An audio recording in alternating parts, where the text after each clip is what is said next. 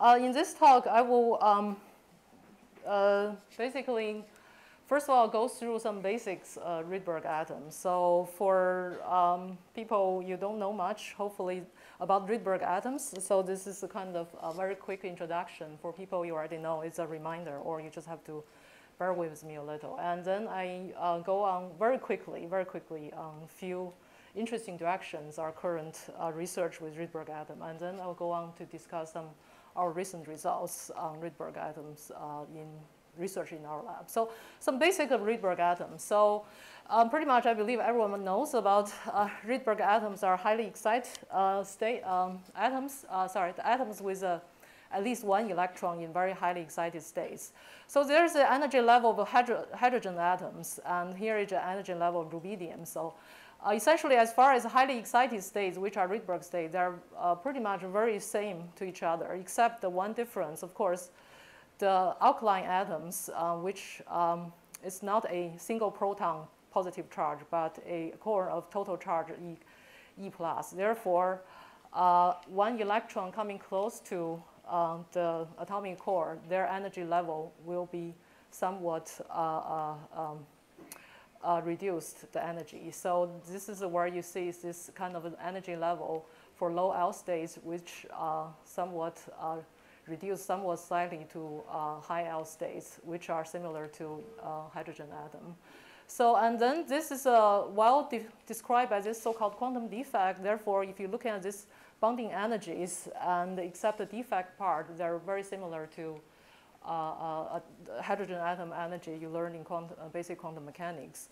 The exalted property of the Rydberg atom is really its large size because, as we know, the size of the atom depends on uh, which state they are, which is proportional to n squared. And therefore, if we have n equal to 100, you have an atom size which is um, um, one micron compared to ground state hydrogen, which is only half uh, angstrom. And then, of course, long lifetime as well. And also, probably most importantly, is very large dipole moment, and which, again, proportional to n squared, which is, well, uh, naturally because it's uh, proportional to the, the size of atom in a classical sense. Therefore, you were looking at n equal to 100, we have a um, dipole moment of 10,000 compared to uh, uh, uh the the dipole moment of water molecules with only about uh, 2 Debye. So, and then this is a really exaggerated uh, large dipole moment give the properties of a kind of uh, exaggerated property of Rydberg atom, which is very strongly coupled to external field and also very strongly coupled uh, to each other through long-range dipolar interaction. Many interesting physics basically coming from these uh, two points. And uh, then uh, I will just quickly go through the production detection Rydberg atoms. Of course, nowadays uh, people use uh, lasers to make excitations uh, uh, to Rydberg state. Typically are two um, photon excitation because usually one photon only need a UV laser, which is difficult to handle, and usually two photon excitation. Also, another thing to keep in mind about is the um, selection rules of which states to excite. And the detection of Rydberg atoms, uh, the traditional way of detecting is field ionization because as you can see, this is uh, a Coulomb potentials. Uh, the ground states are somewhat here, and those are highly excited Rydberg states. If you have an external field, and uh, of course there's nothing uh, much, um, no much effect on ground state, but uh, the highly excited state, you can see, can escape from the uh, trapping potential. And uh, they escape electrons and can be accelerated and reach the um, multi-channel uh, place to be detected. And another is if we raise the ionization field in this kind of uh, slowly uh, wrapping it on, the different states you can see here being uh, ionized at the different part of this ionization field slope, and then you can they can be time resolved um, uh, in the time of, time of flight uh, uh, signal. So, and this is a typical way. Of course, the, the field uh, need to ionize the Rydbergs only about um, a few hundred or a few thousand volts per centimeter, which is quite easily available uh, in laboratory. And this is some kind of pictures where you have cold atoms. This is uh, two grilled which you can put the electric field on, and the electron being ionized can be stripped out to the MCP detector. Um, so this is, again, very quick review about Rydberg atoms in external field. And so I won't say too much because um, this is a reasonably basic, um, most of you know. So essentially, uh, this is a stark map of uh, rubidium Rydberg atoms. Uh, you can see where um, uh, this manifold states, which have different, uh, many uh, different M states coming from different L states, which generate linear Stark effect, which linear, have a linear dependence on the E field. Well, those uh, low L states, uh, due to quantum defects, um, they are removed from the manifold. And uh, they have this uh, second order uh, uh, Stark effect, which have a quadratically depends on the E field.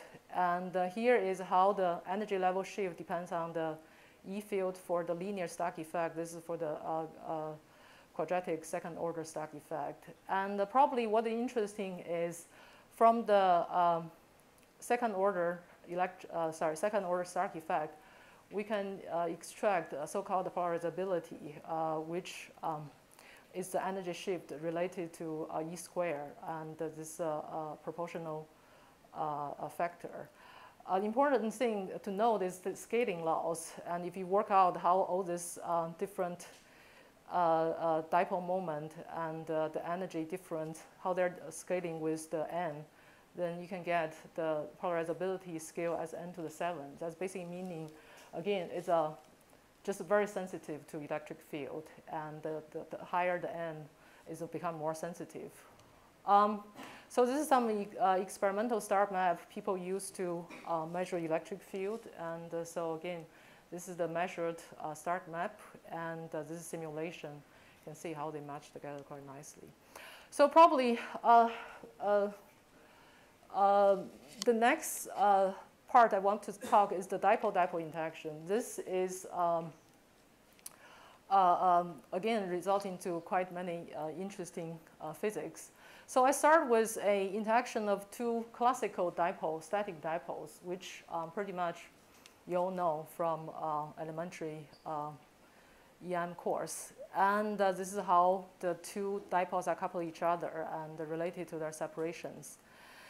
Uh, however, as you remembered, um, the quantum states, uh, if they're isolated atoms, um, if they're in well-defined uh, quantum state, they don't really possess dipoles because the uh, uh, parity uh, conservation. So therefore, probably more related to the dipole-dipole interaction of Rydberg atoms are um, this two classical oscillating picture. We'll see how this works in the quantum regime. So essentially, if the two dipoles are not static but oscillating, and then essentially, but oscillating uh, synchronously, basically in similar kind of uh, frequency, and essentially they still have this type of uh, um, well, uh, energy uh, uh, interaction formula, except due to some frequency average, there is a factor of two. Important thing is, I want to introduce this oscillating dipole is because the dipole-dipole interaction between atoms, Rydberg atom, really shows somewhat um, being understood through this oscillating uh, dipole uh, um, picture. So uh, as I mentioned, essentially the well-defined uh, quantum states of isolated atom, it doesn't really have possess a dipole moment. But if there is a external electric field on, and uh, then of course, dipole, the atom being polarized, then they de develop a certain permanent dipoles, and this dipole can interact with each other. Essentially, this kind of uh, dipole-dipole interaction in external field, um, the permanent dipole due to the external field, is equivalent pretty much to this uh, static uh, uh, uh dipole-dipole interactions. However, um, probably more common, uh, people talk about the, in the situations about dipole-dipole interaction is related to this kind of oscillating picture. Uh, there's many um, examples. How can you look at this? This is here, I gave one of those. So this is atomic states of atoms. Then you have this NS states. If you make a laser excitation to two atoms to the NS states, you think they're just two atoms in NS state, that each of them don't possess any dipole moment. However, one have to think they dipole coupled to upper and uh, upper p state, a lower p state. And uh, then the uh, dipole-dipole interaction between these two NS states really a pair state of NS, NS coupled to NP, NP. And these two pair state, they're coupled, dipole coupled to each other. It's really in this sense. And each coupling, as I mentioned, they can kind of be uh, understood as this uh, oscillating dipoles, which is external, uh, uh, is a, dipole coupling. This is um, uh, through oscillating dipoles, and these oscillating dipoles kind of exchange energy. This is a kind of dipole coupling picture. And this is some details how this, uh, um, you can, uh, uh, sorry, you can uh, uh, diagonalize uh, the, the Hamiltonian and calculate the dipole-dipole interaction. Basically, these two states are dipole coupled through this. This is, again, kind of simplified dipole coupling. And uh, then these states have certain detunings. And depends on how big the detuning compared to this coupling terms, it can be either uh, van der Waals interaction or dipole-dipole interactions. And uh, so when you have this delta much bigger than the coupling term, and if you work out this, and this is a, uh, where roughly the energy shift uh, you get, and which proportional to r to the 6, and essentially this is kind of a van der Waals interaction. And uh, uh this uh, C6 coefficient is going to be proportional to n to the 11th. However, if this coupling term much bigger than delta, and uh, then essentially this term, if you can approximate to be zero, and this is a dipole-dipole interaction. So what I'm really trying to emphasize here is whether or not is a dipole-dipole or van der Waals have R third or R6 dependence, it really depends on A, where you are at along this uh, atom separations. You're at here, they have very uh, small R, very strong coupling, then they're a dipole-dipole, or is here, then it could be van der And another is this um, delta essentially can be detuned, uh, can be tuned uh, by um, E field. This is, uh, again, energy level pictures you can see. And at the zero field, those levels, they are not uh, degenerate. Uh, the energy levels are different. But in external field, this energy level shift due to Stark effect. Eventually, at some point, this energy level difference becomes the same, and therefore this delta really becomes zero. So this is also another way. So the, the take-home message here, this is a little bit busy. Take-home message here is uh, uh, the dipole-dipole interactions between um, Rydberg atoms are huge. They're at the gigahertz level. And uh, also in the long range, we're talking about a few microns. Again, they're highly tunable. You can change n, you can uh, change the separations or change the E field to tune them. So this gives just many uh, um, possibilities to play with different parameters to study different uh, phenomena. So one of the important consequences of the uh, dipole-dipole interaction is so-called dipole blockade. This is probably also um, many of you or all of you have heard. So essentially, what dipole excitation blockade is because these strong interactions and uh, uh, the second excitation of Rydberg states are being blocked. If you're looking at this energy level diagram we just look at, so essentially when the atoms are very separated, they don't interact much, and the excitation can just easily make promote two atoms both to the Rydberg states. But when if the two atoms very close to each other, their dipole-dipole interaction is very big. If it's bigger than the the, uh, the, the, the uh, laser width, and essentially the second excitation, there is no level there, so the second excitation being blocked. So this is so-called dipole blockade. There are also quite many consequences and uh, uh, interesting consequences of this effect. So this is a picturized how this blockade effect. So basically for the atoms near the first excitation, they cannot be excited to Rydberg, but is some distance away, they can. So this uh, distance the, uh, the, the, spherical volume within this distance is called a blockade sphere, or this is a blockade radius. So one of the uh, important consequence for dipole blockade is a, a um, deterministic way of making entanglement. So if we only excite one Rydberg uh, atoms, and uh, um, well, then there's just one. And then you can say, if you really observe the Rabi oscillation, there will be kind of uh, Rabi oscillation between um, 0 and 1 Rydberg excitation. If these two atoms are well separated, you essentially have two individual atoms, and uh, the Rabi oscillation just uh, two Rydberg excitation. However, if it's really close to each other due to this blockade, the second excitation is blocked, then the atoms is not end up as a single Rydberg excitation, but rather a uh, um, superposition of ground state and Rydberg states. So this, in a way, uh, um, it's a, a, a, entanglement between excitation entanglement between the two atoms.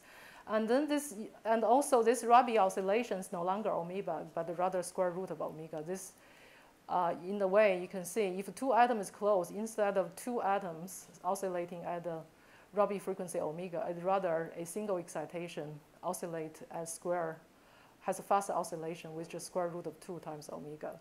So this has been uh, uh, experimentally directly demonstrated in very nice ways. This is an experiment done some years ago, uh, where they load two atoms into um, two optical dipole trap, each hold one atoms. And uh, if they move, if the separation of these two dipole trap are large, here is about 18 microns. All they say is two individual excitations and which is oscillating as some kind of Rabi oscillation omega. However, if they move the two atoms really close, about less than 4 micron, indeed, what they observe is this uh, blue curve, which is oscillating at the square root of the um, single Rabi oscillation. And this kind of excitations has also been demonstrated uh, with large ensembles. And here, similar kind of thing, instead of two, they do this experiment in a uh, um, large ensemble, and also they can change the atom numbers, and uh, depends on how much atom are included in this uh, blockade sphere. The Rabi oscillation proportional to square root of n times omega. And this is a, a series of Rabi oscillation they observe. And indeed, if they plot this, it's perfectly form this uh, independent curve. So, and with this very nice um, properties of Rydberg atom, there are many interesting directions um, in the uh, uh, Rydberg physics research. And uh, for example, Rydberg um, many-body physics and uh, quantum information, uh, Rydberg molecule, and ultra-cold plasma, the wave packet dynamic, and also single-fold, the strong nonlinear effect of Rydberg EIT. So I just very quickly go to few. This is not really any exhaustive or detailed, but rather just to give you a flavor about what's kind of uh, interesting thing are happening with Rydberg. So as we mentioned, um, one of the uh, properties of Rydberg atoms is um, they're strongly coupled to external field, both uh, uh, uh field, static field, as well as um, microwave field in the gigahertz or terahertz range.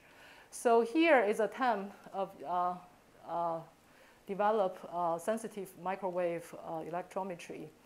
So essentially, this is a Rydberg EIT, although we didn't say, uh, haven't really introduced. And uh, between these two lasers, if we put on microwave, you can see this EIT kind of split. And the splitting is depends on this uh, microwave strength. Therefore, uh, this is a well, the bigger the bigger E field, you have bigger splitting. Therefore, this can be spectroscopy can be used for uh, microwave electrometry. So the currently the well use the Rydberg uh, uh, for microwave. The best um, lately paper cited is about three uh, microvolts per centimeter per uh, hertz square root, and which is much better than the current standard antenna-based uh, detection of microwave. And also this attempt to um, study the, uh, sorry, detect the static field. So this is a, using the uh, Stark effect separation and some quantum, quantum cascade to squeeze to increase, increase the sensitivities. So, and also achieve very um, much better uh, sensitivity. This is a in static field, therefore it's not as good as the microwave part. So another thing, of course, is the uh, quantum gate. This also has been uh, highly pursued lately. And the proposal is around coming around 2000. And this is some kind of scheme where you can make a quantum phase gate. I won't go through details. And uh, for me personally, lately, uh, although the, the, the, the, proposal originally for neutral atom, lately for me, I think one of the de uh, development I think was quite promising uh, for using uh, uh, for developing fast quantum Rydberg gates is quantum gates with trapped ions. They use um, alkaline earth atoms trapped into um, ion trapped. therefore, essentially, um, the first, because of alkaline earth, they have two valence electrons. The first electron, they being ionized, so they become ion to trap there. And then you can use second electrons to perform fast quantum gate. I think this game is quite promising is because the ions can well kind of fixed in place and uh, nicely uh, addressed uh, with lasers, everything compared to neutral atoms. So anyway, I think this is a kind of uh, nice directions.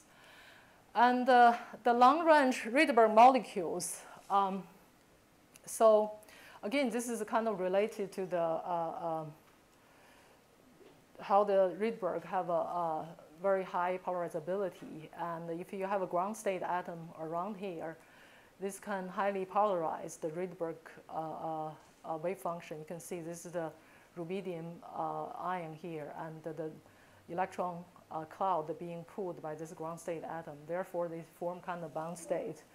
And there is a, a, a some experiment detection of this uh, bound molecular state. This is spectroscopy. And uh, this is for low L states because low L states here, um, we are, they're, they're strongly polarized, but nevertheless, their response to the E field not as strong as the high L state, which is really uh, uh, uh, linear dependence. For the high L state, they have this dramatic drawing about so-called trilobite states. They really pull, you can see this is the core of the Rydberg atom and the ground state atom here, they really pull the, uh, um, the wave functions to be this, well, this is simulated form. And uh, so, and again, this molecule have very large uh, dipole moment on the southern device. So this is a, uh, also interesting for, um, well, computations or uh, chemi cold chemistries, etc. And lately, people has also been working on Rydberg Rydberg molecule. Said basically two atoms are both in Rydberg state. They can bond, uh, form kind of large molecule. This kind of molecule, all on the stage, um, size, size about a few microns, so it's really large, or triple Rydberg molecules. So this is a quantum many-body physics. And uh, so uh, again, here I won't give any details. So it's just some kind of artist views where you have this blockade Rydberg excitation and whether or not they are strongly correlated form certain patterns. There's some uh, uh, uh, um, experimental observations. And another is the um, lately um, people use two Rydberg states which can be addressed by microwave to form um, spin model, or study uh, spin models in lattice. This is a kind of micro trap to trap them. And another interesting is uh, quantum energy uh, transport. And um, because energy transport, of course, happens in many uh, biocells, biosystems, people start also looking into study this kind of quantum effect. Uh, in this, uh, this the example I gave here is a light harvesting uh, proteins where uh, they absorb the items, sorry, they absorb the photons, and then how the photons kind of um, uh, transport inside the protein and through the uh, uh Förster energy transfer, which is very similar to uh, Rydberg energy transfer. If uh, essentially, um, earlier I mentioned this dipole-dipole interactions um, between Rydberg atoms. Another way of looking at it is really the energy hoppings between different uh, Rydberg, uh, Rydberg atoms um, through this, similar to Förster um, resonance. So uh, there is a research activities to study this effect, of quantum transport, effect, transport phenomena, and to what degree they are quantum, and how to uh, uh, how they affecting various transport properties. So with that, I think I'll move on to uh, some research activities in my own lab. So we have some long-term research uh, objectives is to uh, uh, develop some develop a new type of many-body system and strongly correlated with Rydberg atoms. So we have been uh, doing some experimental realizations by preparing atomic ensembles and also making Rydberg excitations. And this is a, uh, some what we already achieved and some we are, we are going to be further worked on. And with this, what we already done, we have been doing essentially using EIT optical detection to study Rydberg atoms. And uh, some, we have been working on some uh, Rydberg EIT and uh, microwave optical conversions and uh, working towards EIT imaging of Rydberg atom. And uh, furthermore, we were uh, plan to make Rydberg excitations in optical lattice.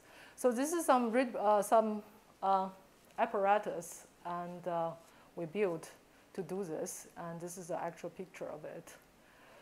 Uh, so as I mentioned here, currently we're mainly uh, working on um, EIT optical detection Rydberg atoms. So I will um, give some basic theories of uh, using um, optical detection of uh, Rydberg states. So the EIT, which is um, pretty much a well-known phenomenon, just uh, in this case, instead of um, ground states and uh, first excited states. We use ground states, first excited states, and uh, one Rydberg states. So this is kind of a ladder type of uh, uh EIT. But the basic uh, things are the same. And without coupling light, we get this um, absorption with, we have a, a, with, sorry, with coupling light, we have transmissions. And to describe system, we have this um, Maxwell-Bloch equations. And the Maxwell, sorry, the Bloch equation part describe atom, and then the Maxwell part describe the light propagations. And uh, so maybe just worth to say a few words about this uh, uh, Bloch equation to describe the atom sorry, atom light interactions. So are Hamiltonians, nothing new. So this is a spontaneous emission of the excited states.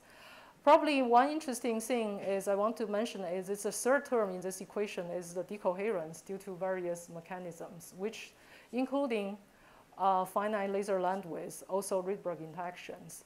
So here, the dephasing term actually, how it appears uh, in the probe light spectrum is one the signature we can use to uh, detecting Rydberg interactions. And uh, then here is a steady state solution. And uh, so from that, we can derive, uh, this is all mathematics, and derive the transmissions. The important thing is in the transmission, we have this um, linear susceptibility, which is um, including many uh, informations on the atoms. And for example, uh, this term is uh, the detuning of the coupling lights if the atomic energy level is being shifted due to the interactions, um, which will be reflected in this term and uh, as a, you can extracting from the spectroscopy. And uh, also this um, gamma GR, which is again this decoherence term, uh, is inside this linear susceptibility and uh, it's also reflect, uh, reflected on the spectrum. So for example, here is a simulation of the, EIT spectrum and uh, where we change different gamma GR, basically different uh, dephasing term. And you can see how the spectrum uh, being changed.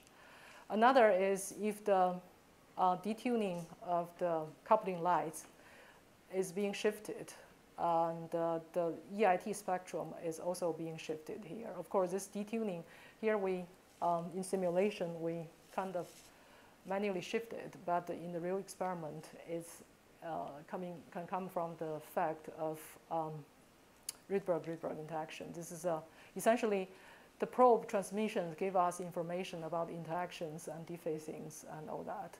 So one of the motivation we do is um, study this is to um, uh, work towards the EIT image of Rydberg atoms. Here it's just, again, a cartoon picture to give a, a, a concept about how this EIT imaging works. So basically, as we mentioned, we set up, this is uh, some ensembles uh, where is a ground state and a few Rydberg excitations. And for the ground states, we, if we set up the coupling and probe light into the EIT conditions, and uh, they, are, they have this kind of spectrum, if everything on resonance, the probe light is going to transmit it. However, for Rydberg atoms and uh, for the ground state atom near Rydberg excitations, because this uh, Rydberg blockade, their energy, they see an energy level shift. Therefore, the two coupling and probe light is no longer on resonance, and you see this uh, shifted spectrum. So basically meaning if the probe light is put on resonance, and for the item outside the Rydberg blockade sphere, they're transmitted, but for the atoms inside, they're absorbed. They're at this kind of spectral position. So therefore, by this way, uh, you can uh, image where the Rydberg atom is. So however, to really do that, we kind of have to, to do a, serious study to categorize uh, uh, uh various experimental parameters and uh, found a good parameter window to do this. So this is um, our experimental setup, and then there one the first effect we started is spatial dependence. because for Rydberg EIT experiment, because the coupling of first excited state to Rydberg states, uh, this part, this uh, dipole moments are reasonably small. So the, the light has to be focused quite tightly. And uh, therefore, it's kind of introduced some spatial effect. If again, we're, if we're looking at this uh, EIT medium susceptibility, this is again coming from the Maxwell Bloch equations. And now we actually, because the beam is not um, homogeneous, but rather, rather tightly focused, so we kind of have to include all the space-dependent term. And uh, this is a atomic cloud have an atomic density distribution. The um, coupling light also have a, a spatial uh, dependence. And uh, therefore, essentially, uh, especially this coupling light is not a, for the probe beam going through it, it's not really a, um, well, this omega c is not constant. Therefore, its form kind of lensing effect is like a lens where because the light at a different part of this coupling beam, they, they see different uh, uh, susceptibilities. Therefore, they see different index refractions. Uh, essentially, um, it's uh, the light passing through, like saying a lens effect. And this is a kind of uh, experimental results. So if we scan the spectroscopy, and we can see some part of the, the light is highly focused, and which the light is. So one is basically meaning the original probe light is trans fully transmitted. And, uh, but here is supposed to be one, but due to the lensing effect, uh, the intensity is highly increases, increased. This can also be seen in this uh, 2D um, image of the, pass, the light passing through. And um, here, uh, you can see the, the, the, light is, well, you kind of have to, this is a, this is a, a, a series of imaging across different detunings. You kind of have to compare the image which are symmetric to the uh, zero detunings. And on the left side, which corresponds to highly focused uh, high intensity, and on the right-hand side, the, the, the, blue side, which is somewhat defocused and had low intensities. And uh, another, as I mentioned, to really do the imaging, we kind of have to study how the interaction shifting the EIT windows. And uh, this is uh, some spectroscopy study of uh, uh, uh, the interaction effect.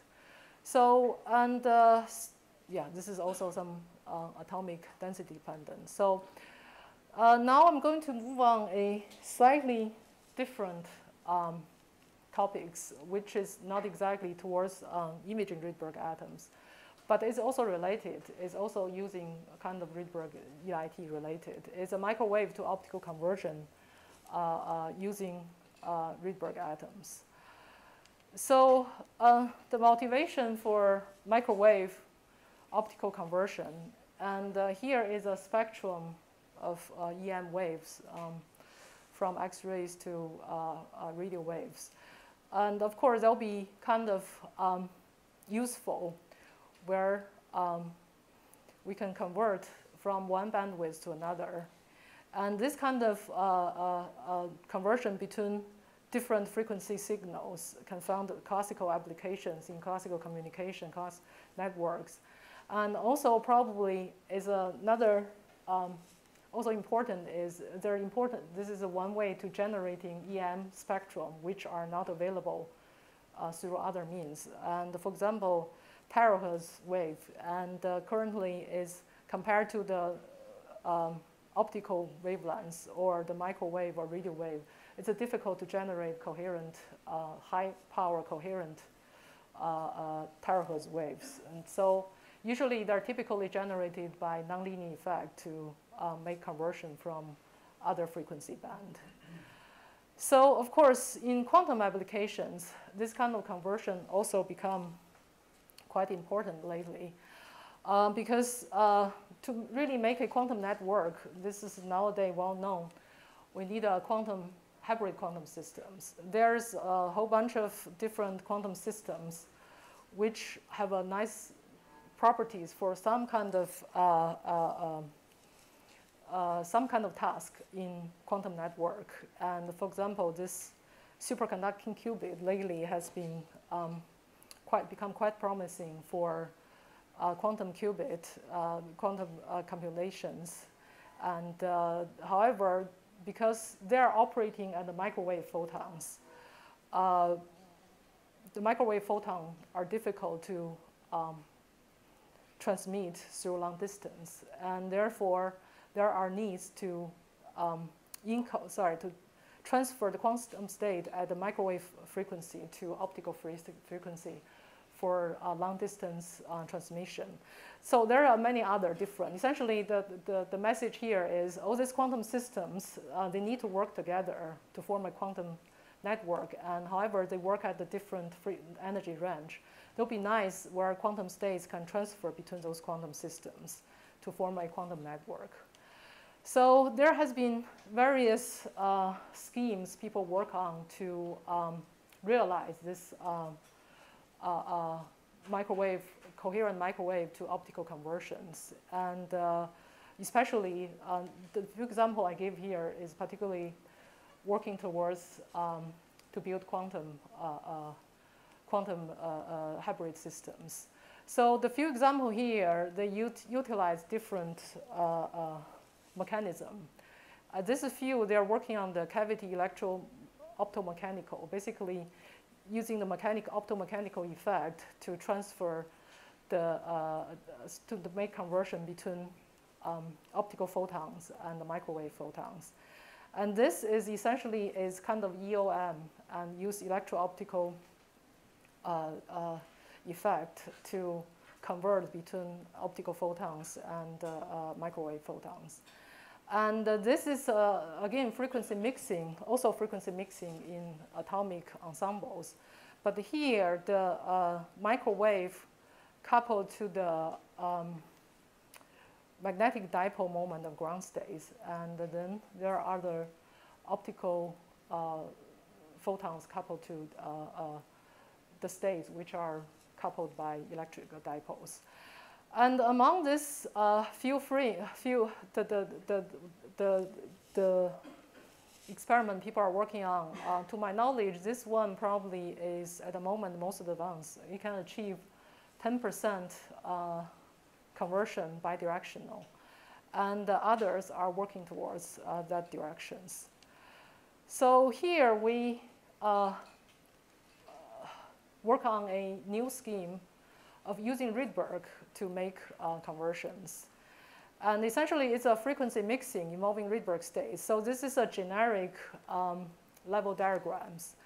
And uh, the important thing is um, there are some Rydberg levels, in this case is 3 and 4, which are coupled by microwave. And there are some other uh, levels coupled by the optical uh, light. And in this case, it's ground state and first excited, but you can choose others. And here we uh, illustrate is a six-wave mixing. And in principle, can also work at a four-wave or eight-wave, and but each has pros and cons. Probably six-wave still maybe uh, the better choice. So the advantage here we think are A, of course, um, as already introduced, electrical a dipole moment between Rydberg states are really huge, and they are very strongly coupled to uh, microwave frequencies and um, uh, microwave to terahertz.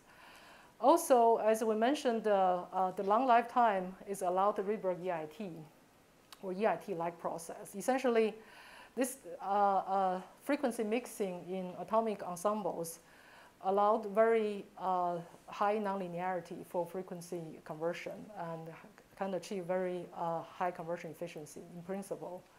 And thirdly, which are somewhat uh, um, probably less fundamental, are there actually many available frequencies and available uh, for uh, coupled to the um, Rydberg states from few gigahertz few, to few uh, terahertz. This is some spectrum for rubidium, cesium, and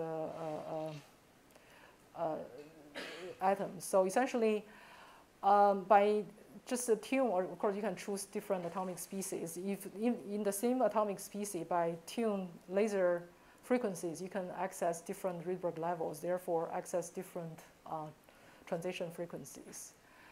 And here is uh, some, there is uh, our actual experimental level schemes. And uh, so this is the uh, we have four input uh, field, and then this is the microwave field to be converted, and uh, then this is the optical field um, generated. And uh, so um, because it's a frequency mixing, and we have this uh, resonance loop, the, so the six waves has to fulfill this resonance loop, and Meanwhile, the phase matching conditions also has to be fulfilled for this uh, nonlinear process. And uh, then this is um, the, how the actual setup. So we have uh, the optical lights to a blue auxiliary field coming this way, and uh, then the P field coming this way, and the microwaves um, coming from the side. And the generated light, um, the generated light um, kind of co-propagating with this P field, but uh, we can use, uh, they have different polarizations. We can use PBS to separate them and detect.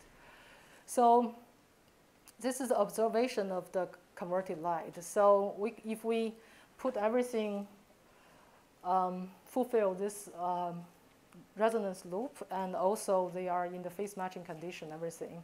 So if we scan the P field, and then we see the the converted light field uh, have this uh, uh, pronounced peak. Essentially, some light comes out at this, uh, uh, at this frequency.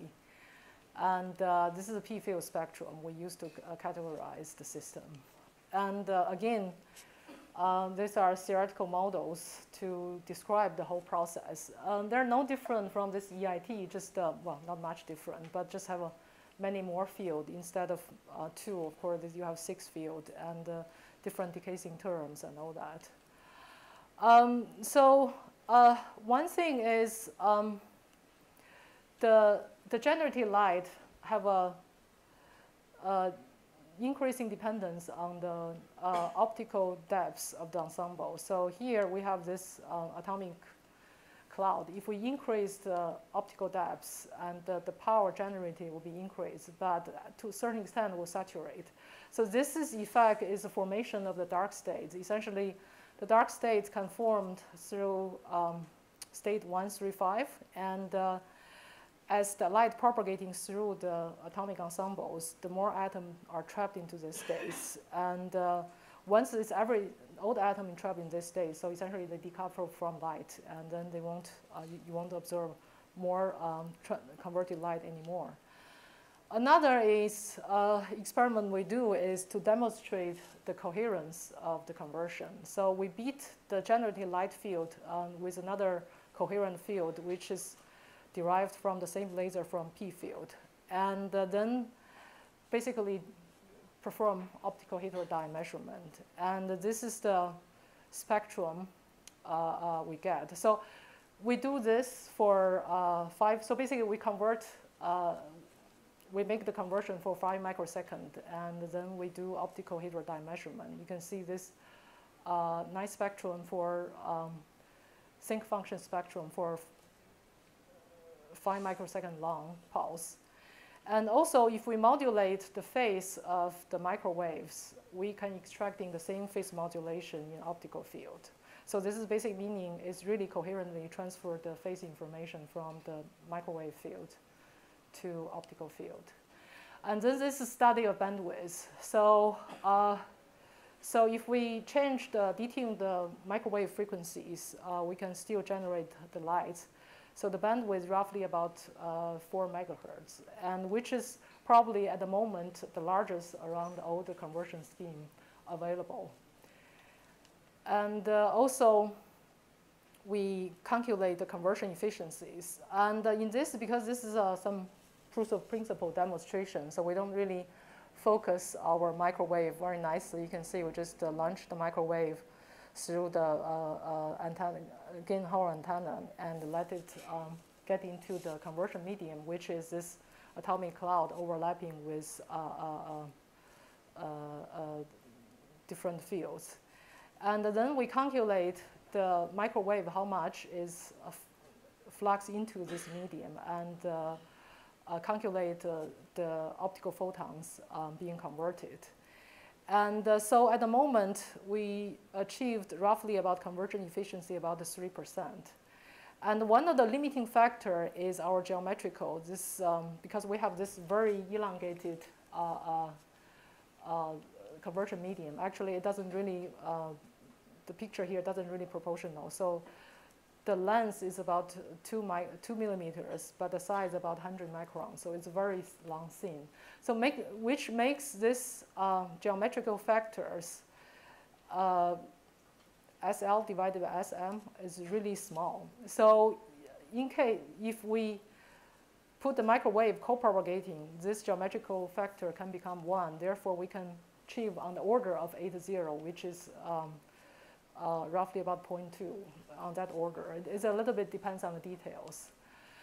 So anyway, uh, so here is a little bit outlook on this work. And of course, we kind of really have to uh, further improve the conversion efficiency, which, as I mentioned, we need a, a better geometry and uh, to enhance the conversion efficiency. Also, eventually, we really have to focus the microwave down, have a better overlap of microwave to the with the conversion medium.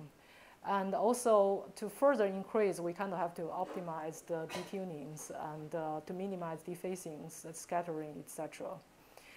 And uh, furthermore, of course, um, this conversion, um, it can have, lead to various um, applications, depends on um, what kind of um, application people are interested. And uh, to really work, um, to really develop converters for um, quantum hybrid system, one has to think about to interface this conversion medium with a superconducting qubit or other quantum systems. And here is one example where the atomic cloud are somewhat um, on the uh, uh, on the near surface of the uh, superconducting uh, uh, circuit resonators, and then is also coupled to optical cavities where this kind of conversion can convert the microwave photons of um, superconducting resonator to optical field. And of course, another possibility is um, possible application is realized conversion in thermal vapor cell. So there are also several um, interesting things here is, uh, remember we said uh, um, there is a Rydberg atom can be used um, for sensitive microwave detection. And uh, the one we mentioned earlier is through this uh, uh, EIT spectrum, uh, spectroscopy.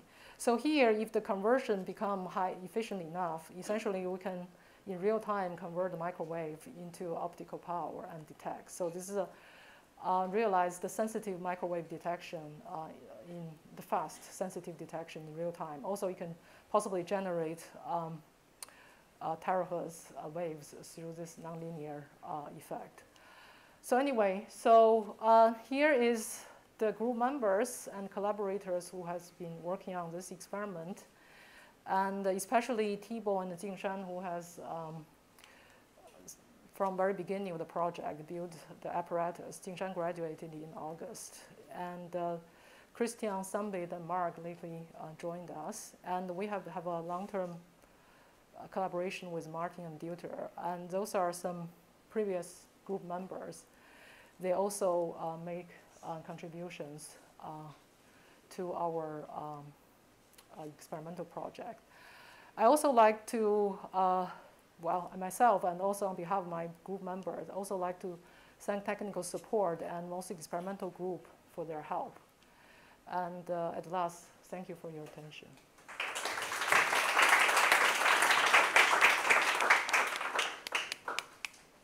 Yeah, thank you. Uh, uh, thank you very much for your overview. Um, are there any questions? Nobody wants to ask a question? Great. Uh, oh, sorry. okay, please. Uh, Um, thanks for the nice note. Um, I didn't get why we need to do four waves for the, so can it be done simpler and why you guys go for six? I mean, this is like from the- Uh, yes, yeah, that's what I was saying. Um, in principle, four or eight waves all can work. And I think the reason why six wave, the four waves limiting the optical wavelengths. So basically, if we use four wave, one of those has to be in UV wavelengths. So in UV wavelengths, the ultraviolet. So of course, make it difficult to handle. And the six wave, A is easy, the wavelength is easy to obtain, and also give you flexibility of energy levels. For example, here is it possible we actually, at the moment we do use uh, 780, it's possible to use uh, like a telecom uh, wavelengths, even directly choose some energy levels. Yeah. okay, mine. How do you detect that microwave or terahertz radiation? I'm sorry. How do you, so you're, you're using this to get a microwave or terahertz radiation out of this thing. How do you detect that? Uh, depends on what kind of uh, depends on what kind of uh, wavelengths we're talking about. You were talking about really, let's say, um, few tenths of well, let's say, few terahertz or few tenths of terahertz. Essentially, those can almost propagate in free space. Is that what you're asking, Yeah, right? yeah, So you detect them, you know, that they're there, right? Oh, you, you mean detect them? Uh, uh, they, you know, the, the, like, whatever the full waves and that's the terahertz detector? Uh, well, there are some terahertz detector. Depends on what kind. Again, depends on what kind of uh, uh, frequency range. Another way, of course, as I mentioned, this the Rydberg atom itself can acting as a terahertz detection. So basically, if you generate, you can put a Rydberg cell nearby and kind of converting back in the way. So that's one way you can think about to to detect. So. Any, any other questions? So you, you show a graph, you know, of modulating the microwave signal and look at the phase of the detector signal, right? Mm-hmm. So why is it not synchronized? Uh, is this one? Yeah, the one at the bottom. Yes. No, no, no. It's a it's a two different modulations. It's sorry. Which one is not synchronized? Yeah, the- the- the- This one. oh, okay, so. So this is a two modulations. One is modulate at this is a 14. It's a phase modulation at the 14 kilohertz with 3 pi amplitude, and this is uh, at the 7 kilohertz with uh, pi amplitude. So the yeah. So th- there there is a black curve. Probably you I don't know Oh, no, whether okay, so black So you are showing the, the detected phase. de- yeah not- detect the phase. So Yeah, the, the green and blue are both detected phase, extracted phase, and uh, if you see this black curve below, these are the phase modulation of the microwave. So, Any, any other questions? Comments? New ways to explore uh, terahertz regime yeah. in microwave, uh, microwave regime?